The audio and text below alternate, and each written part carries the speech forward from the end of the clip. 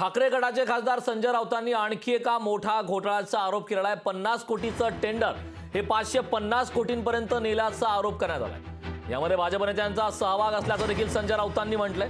आरोग्य सेवक पुरवण्यात भ्रष्टाचार केल्याचा आरोप लोकशाही पॉडकास्टमध्ये संजय राऊतांनी केलेला आहे. ठाकरे गटाचे खासदार संजय राऊतांनी आता हे आरोप केलेले आहेत.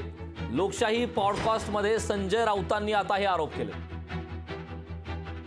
आता हा जो आरोग्य खात्याचा उद्या किंवा परवा साडेपाचशे ते सहाशे कोटीचा घोटाळा मी तुम्हाला देतो. काय आताच सांगून टाका. बघा पन्नास ते पंचावन्न कोटी रुपयाचं टेंडर हे साडेपाचशे कोटीपर्यंत गेलं. क्रिस्टल नावाची कंपनी आहे. भाजपच्या एका नेत्याची क्रिस्टल त्यांना एक काम दिलं आहे तीस टक्के कोणाकडे गेले त्यातले माझ्याकडे माहिती आहे. कोणाकडे गेलाय? कुठे कोणाकडे जाणार आहे राज्यात सध्या? म्हणजे आरोग्यमंत्र्यांकडे गेले की आणखी कोणा कोणाकडे जाणार? आरोग्यमंत्र्यांकडे गेले. बरं का कोणाकडे जाणार? अहो पंचावन्न पन्नास कोटीचं टेंडर जे होतं आरोग्य सेवक पुरवण्याचं ते साडेपाचशे कोटीपर्यंत जातं या राज्यामध्ये. मंजूर होतं.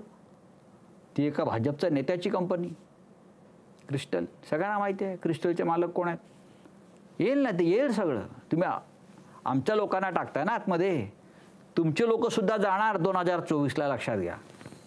पण मग सुडाचं राजकारण होणार नाही का? नाही. त्यांनी- तुम्हाला आठ कायद्याचं राज्य आहे ना. का भ्रष्टाचार दाबायचा का मग? तुम्ही खोटी प्रकरणे केलीत ना. मग खरी प्रकरणाची चौकशी आणि चर्चा होऊ द्या की. बघा एक म्हण आहे आपल्यामध्ये. हर कुत्ते की दिन आते प्रत्येकाचे दिवस येतात. लोकशाही मराठी. ऐका पहा जागरूक रहा.